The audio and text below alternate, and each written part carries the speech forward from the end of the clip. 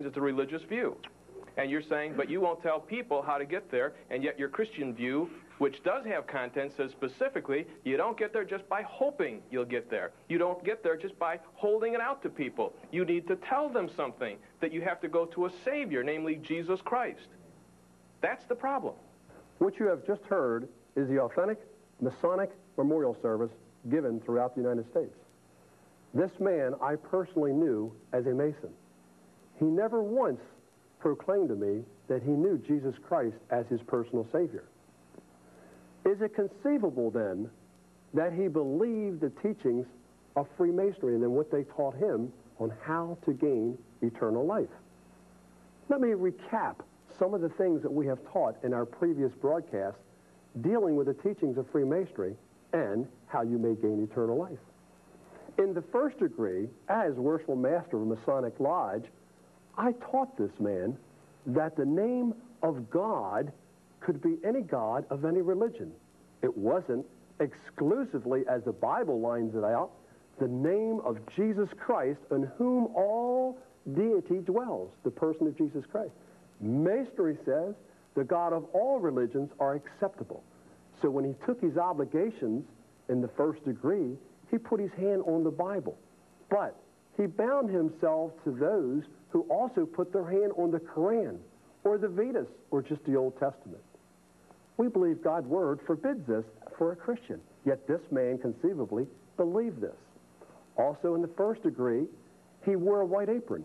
If you notice, he has that apron with him now in the casket. I have this apron on. What does the apron signify? This apron is a badge of a Mason.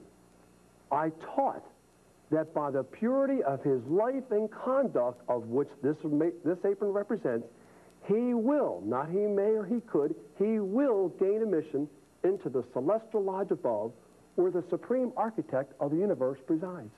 But the Word of God tells us in Ephesians 2, 8, 9, it's for by grace we are saved through faith, not of works, lest any man should boast. There's no way, according to the Word of God, that by our purity of life and conduct that we can gain admission into the celestial lodge above. It is by the grace of God through the finished work of Jesus Christ.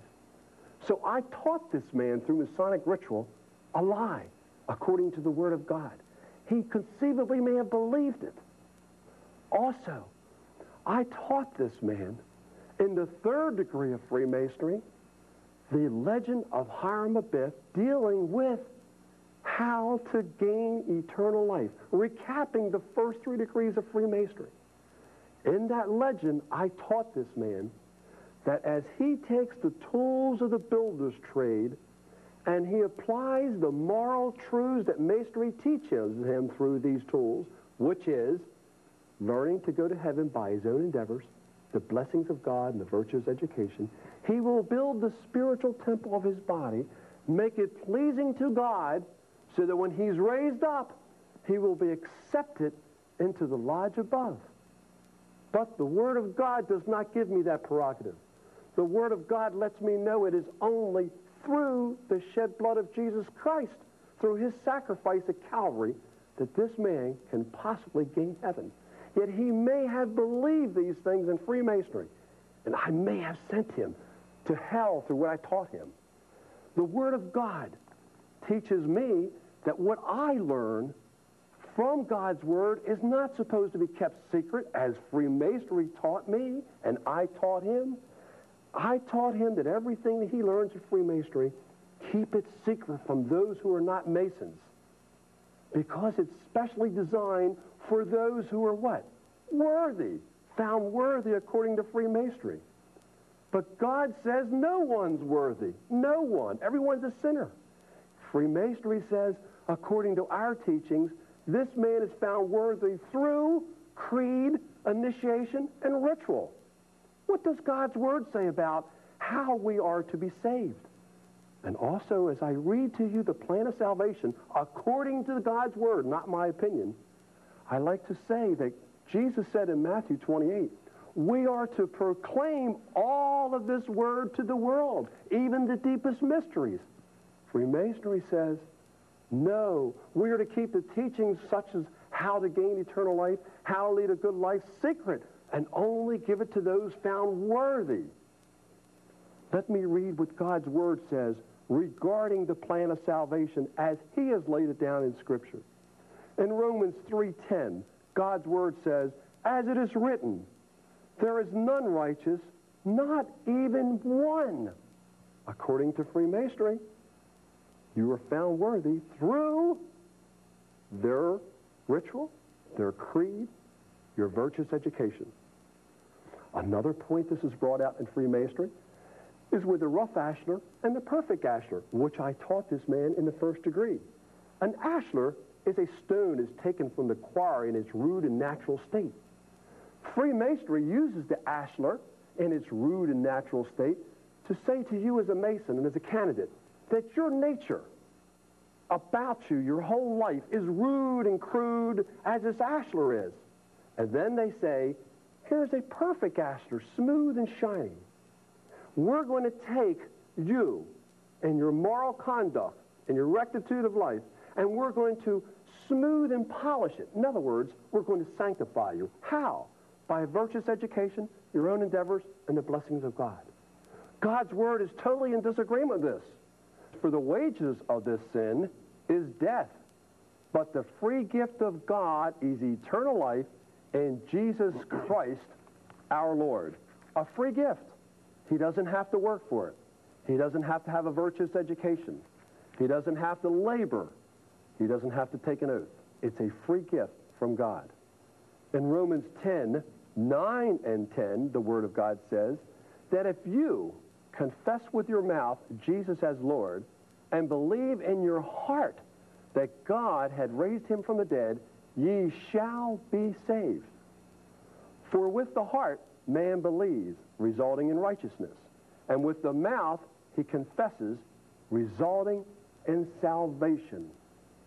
So according to the Word of God, to gain eternal life, you must ask as a simple child, Lord Jesus, I'm a sinner. I want you to come into my life and save me. I believe that your Son, the Lord Jesus Christ, died in my place on Calvary's cross for me so that I may have eternal life. Come into my life now and be my Savior and my Lord. Now, there's those of you watching by television, and some of you are Masons, and also you have put a professing profession in the, in the person of Jesus Christ for your salvation. So you're a Mason, and you're a born-again Christian. And you have seen what we have showed you here tonight at the funeral. You have seen all the previous broadcasts. And I asked you, is it possible from the core of your heart, can you possibly embrace these teachings knowing that they can lead this man to hell and not to heaven? Can you do this and be obedient to the Word of God where it tells us, have no fellowship with the unfruitful works of darkness. All of the teachings of Freemasonry add up to salvation by works. And as believers, we are commanded to have no fellowship with this darkness. Can you truthfully in your heart embrace these teachings and still say, I'm being obedient to the Word of God and to the Lord Jesus Christ?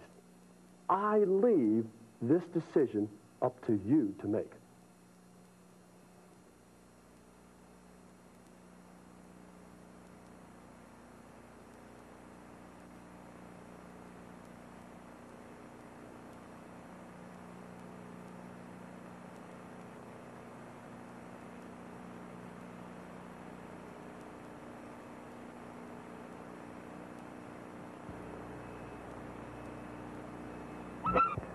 Good evening. There are approximately 4 million Masons in the United States. Many Masons are Christians, and many are from other religious faiths. The question tonight, are you willingly or unwillingly participating in another religion, the religion of Freemasonry? Now, most people believe the religion they hold is true. They would not think of actively participating or embracing the beliefs of another religion. For example, Christians know Jesus said, I am the way, the truth, and the life. No man cometh unto the Father but by me. Christians believe that. If Freemasonry is another religion, it would be competing against Jesus Christ, and Christians would have to choose. So I think tonight's program should be of extreme importance to Christians in the lodge as well as others of different beliefs.